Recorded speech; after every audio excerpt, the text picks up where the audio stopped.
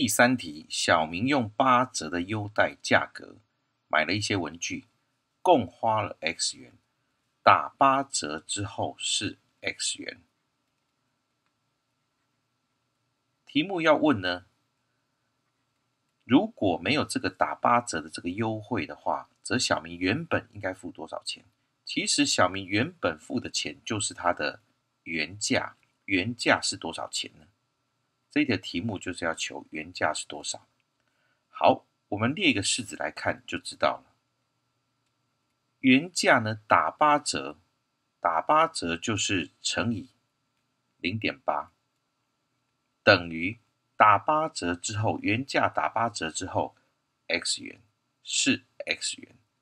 那要求原价，很清楚的这个式子呢，你如果要求原价呢，就等于。把这个零点八乘以零点八移到右边，就变成是 x 除以零点八。那 x 除以零点八是多少呢？零点八叫做十分之八，x 除以十分之八。那这一题呢，很清楚的呢，算到这个地方，我们就可以选出答案就是 B 这个选项。